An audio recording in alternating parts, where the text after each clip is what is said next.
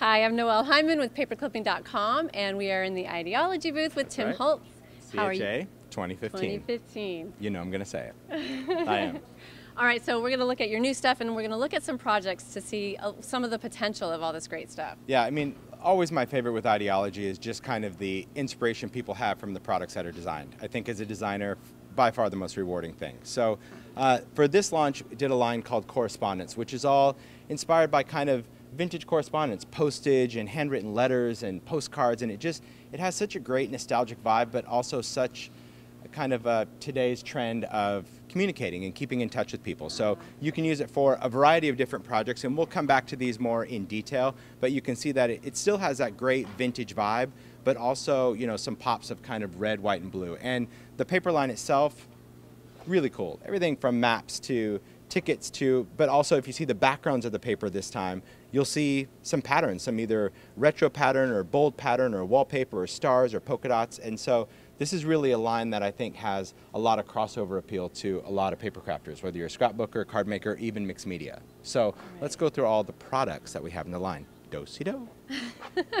okay, so we got metal there's stuff a, there's and other tons kinds of stuff. stuff yeah, tons of stuff. So first we'll talk about design tape. Now, um, in the past I've had tissue tape, and I still have that in the line. That's always been a translucent tissue. Design tape is now a printed paper. It's actually a little thicker than tissue tape, but it has a much more bold, crisp pattern, and you'll see it on a lot of the projects.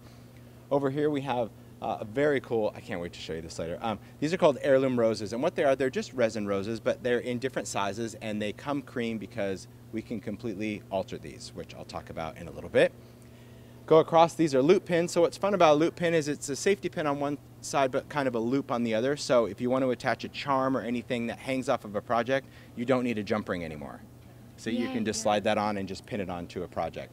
We've got some great new adornments. It's called Souvenir, these charms that has like a clover, a star, a globe, fleur-de-lis, little things that I thought you would pick up along your journey. You know, if you go to a souvenir shop, that's what I wanted that to represent, were little trinkets you can do uh, for any project.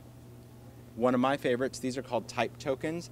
And what they are, they're little flat coins with a hole in the top that has just some sort of word or sentiment typed into it. Yeah. So it says found or XO or story, and there's 24 different words in there. So great to attach to a card or any kind of project. We've got mini star fasteners. These are really tiny star brads, super, super tiny, uh, but they make a great accent, especially if you want to not only use it as a fastener, but kind of line those up, space them across, and create like a metal border like nail heads. One of my favorites. She's back, but she has her arms, her legs, and she's got a dress on this time. These are salvage dolls. Um, this was inspired by fracture dolls that I did years ago, but people really love the charm of these vintage dolls that you can dress up and uh, alcohol ink. I'll show you what you can do with a very simple, simple doll like that. Then we kind of swing down to this next row over here. We've got flashcards. These are double-sided flashcards. Um, I launched these uh, for the holiday line where I did Christmas words. These are now your everyday words. There's 72 different words in there. Um, so you can go and kind of mix and match and add those to projects, which you'll see. Is the back the same as the front? Totally different. Oh. Yeah, so now you have what, 144 words, I guess, to choose from, which is great.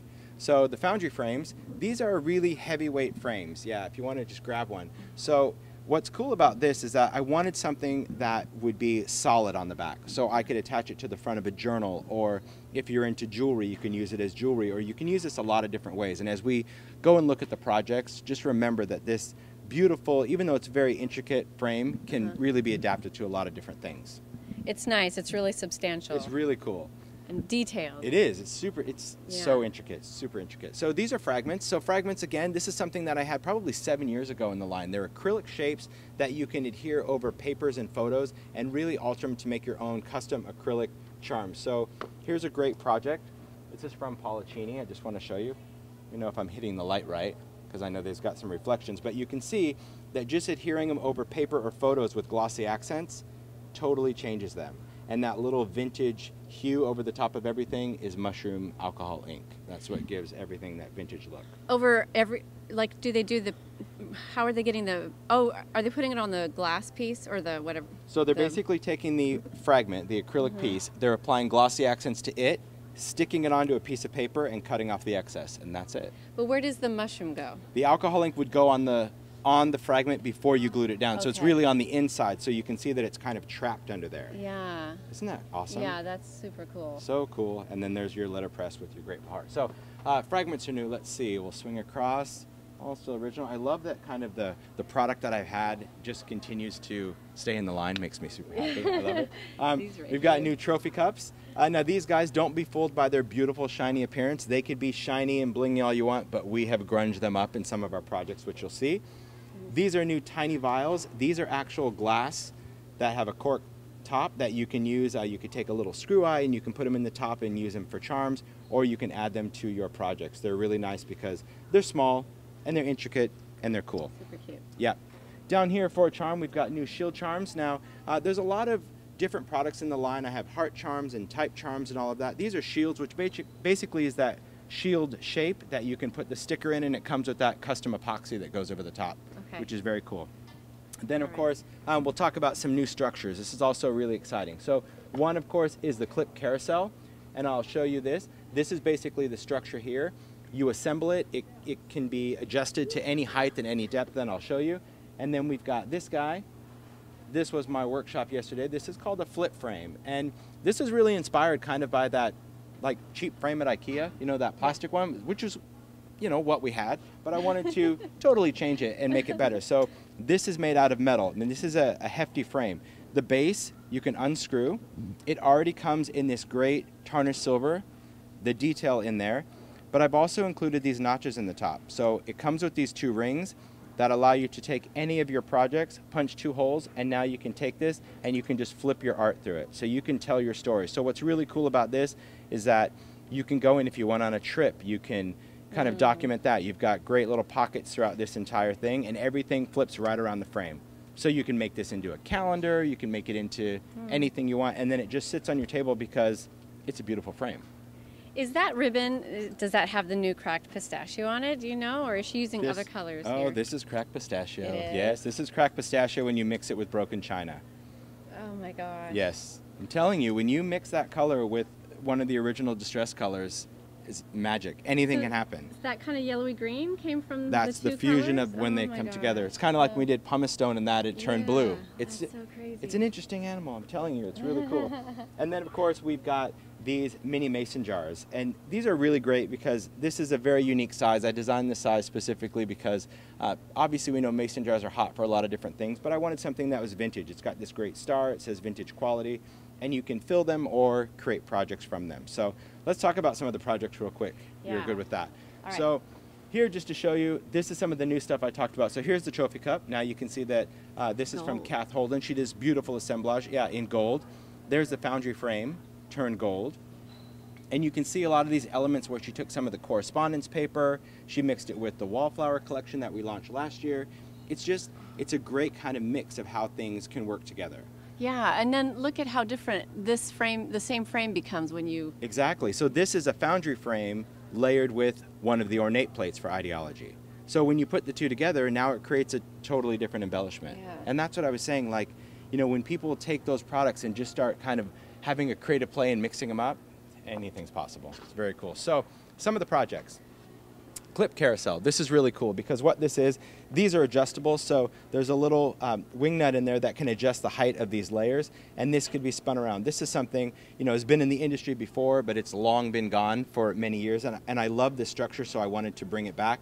I only wanted these two layers, and so here you can see that Paula did this with you know just adding anything. You could add charms or stamps or photos or anything you want to this carousel just to make it super fun and kind of leave it out so you can display your artwork, your photographs, anything on there. And it even comes with a split ring on the top of it that allows you to slide in some art or a sign or Oh. anything like that to top it off. Okay. Which is really Cool. cool. So this one I can see has the. Do, what do you call these charms? These are the type tokens, and you can see the little the star little star. And I saw the the rose here. Yep. Look how cute. So it looks like metal because it's been alcohol inked, Uh-huh. but it's really resin. Here you can see there's one of those little clovers. Oh. But you can see the back paper, this is all correspondence. So you can see that that correspondence, even though you're thinking, oh, it's kind of like all postage postcard. No, it just has that kind of vibe to it Mm-hmm. to really allow you to kind of mix that up. Here you can see a trophy cup that's been mixed in there. Now this is another new product. This is called Photo Booth. And what this is, um, this is a strip of photos. I'll, gra- I'll grab it. It's from this wall. I'll be right back. just going to grab it. Okay. So I is the- the see there. Yeah. here. Here we go. So what these are, this is basically just a strip of all those great photo booth photos, and you Uh-huh. get many, many cards. So all these random little photos. So any of these photos that you see in here, in every single project, even the one with handwriting, they're not people we know. they're photo Yeah. booth. So it's really great for people that don't necessarily have those vintage photos. Yeah. Now they can use that. You love those roses, The- don't you? yeah, I do. so there's more of those roses on, and then they've added it to this frame, and you wouldn't know that this was a white or creamish plastic. And That's right. That's Mm-hmm. right. So just by mixing that up, and here you can see uh, the flip frame. This one's done by Vicky Booten, where she just she kept that trophy cup shiny and just decided to put that on with some elastic and put that in your flip Yeah. frame.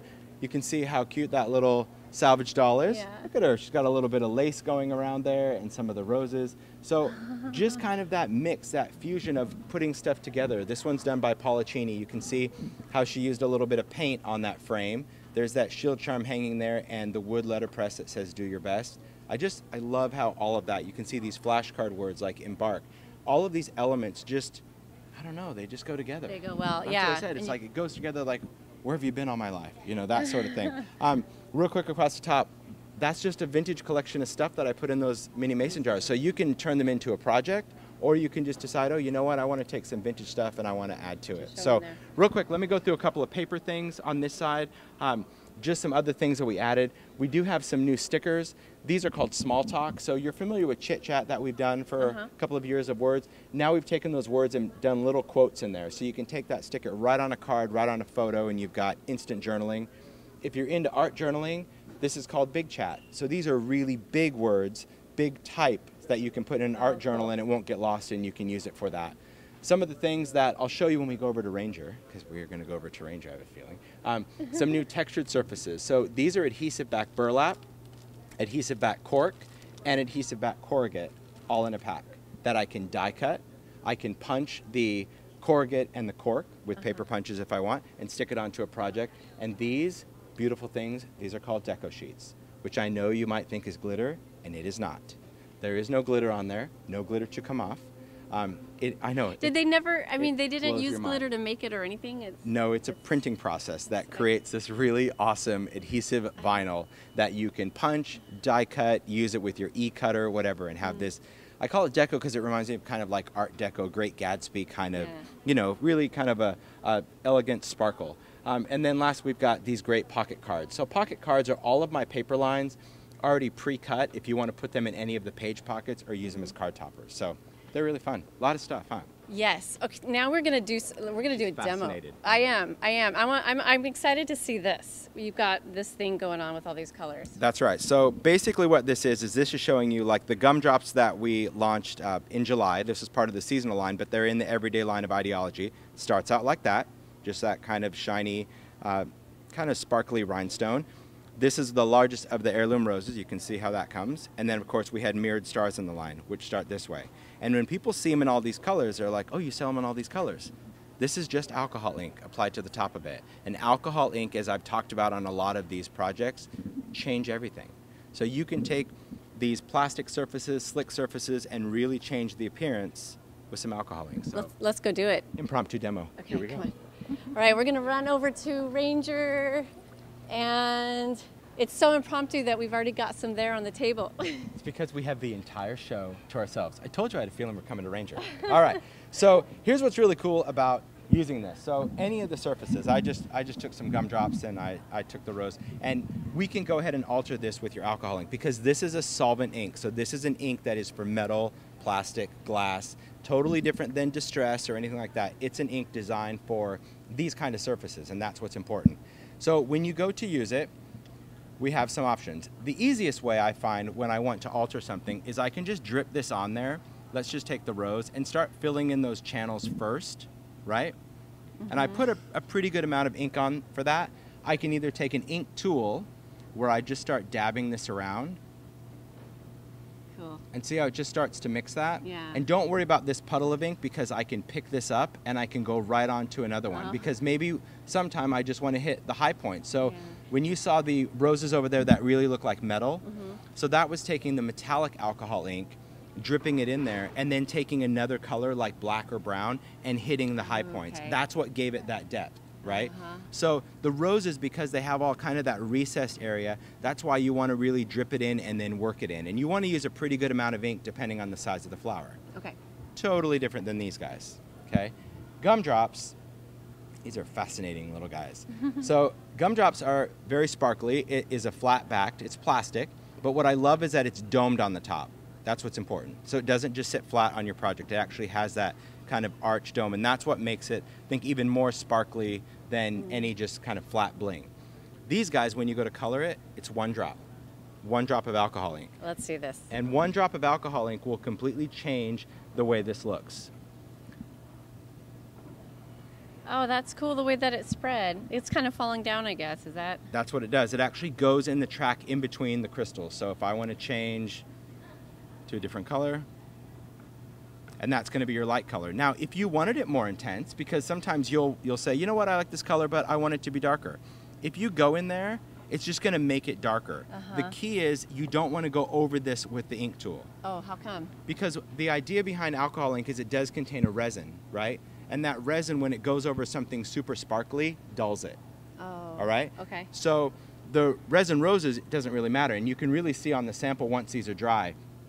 This has it still has that resin look, but it doesn't have that sparkle, Uh-huh. right? So same thing on the mirrored stars. You drip it on, and you just kind of let it do its thing. Okay. Because the more you work over it, the duller it gets. And you can see on some of these, even even the lighter colors. See how like that one's a little bit more dull than like that green one, Uh-huh. because a lighter color maybe I did want to work it in. So it's not that it's wrong to do. Mm-hmm. It just know that if you keep working this over that, you're going to lose the sparkle. Okay. Pretty All cool right. though. Yeah, really cool, It's really fun. great that you can take something and say, "Oh, I'm just going to buy a pack of these and I'm going to alter it for this project or that project or that project," Yeah. which is cool. And then Yep. to get the metal look, they'll use the um, the mixative. Yep, the, metallic mixatives. Yep, these guys right here. Oops. Now these, these you want to shake up because of course these are a pigment. So these aren't going to be your sparkly thing. So you'll notice that we didn't do the mixatives on these because it would totally dull them. Oh yeah. Because it's not a translucent ink, it's opaque. So these, like if I wanted to put this on the rose, same thing. I'm just going to go in and you're going to add that on there. Now, could you use paint? You could certainly use paint, but you're not going to get kind of that uh, translucent. I say translucent, but it's really like a thinner version of that ink. And I can take that same tool and just start spreading that in there. Now, alcohol inks, what's really interesting is the deeper you want that color. So if you want that really deep gold, Uh-huh. let it dry, apply another layer. Okay. Yeah, because remember we're dealing with ink now and mm-hmm. not a paint. Because Okay. paint, right, we can put it on, it's going to be opaque, it's going to stick. But when we do an ink, the more layers we add, the more mm-hmm. depth we can get. Cool. Yeah, it's very cool. All right. How fun. Education. So this is all from Idea-ology. Yep, and the inks are Idea-ology using the Ranger. Ranger alcohol inks. Okay. Yeah, pretty cool. This is Tim Holtz, in case you forgot, which I know you didn't, and I'm Noell Hyman from paperclipping.com.